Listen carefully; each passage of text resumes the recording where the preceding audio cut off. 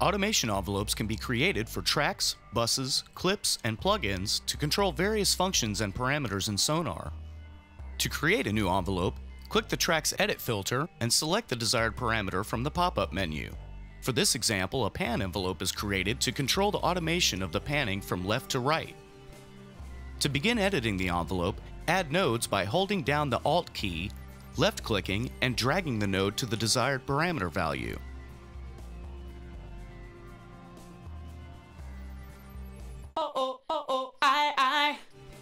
Additional envelopes can be added by selecting the desired parameter from the menu in the Edit filter.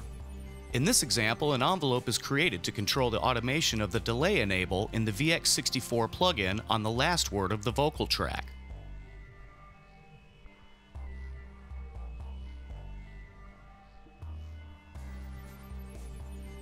Oh, oh, oh, Only one envelope at a time is active for editing, while the other envelopes appear in ghost mode. To cycle through envelopes for editing, hold down Shift and left click on the desired envelope to begin editing. The use of automation envelopes is an easy and creative way to add more advanced production to your mixes.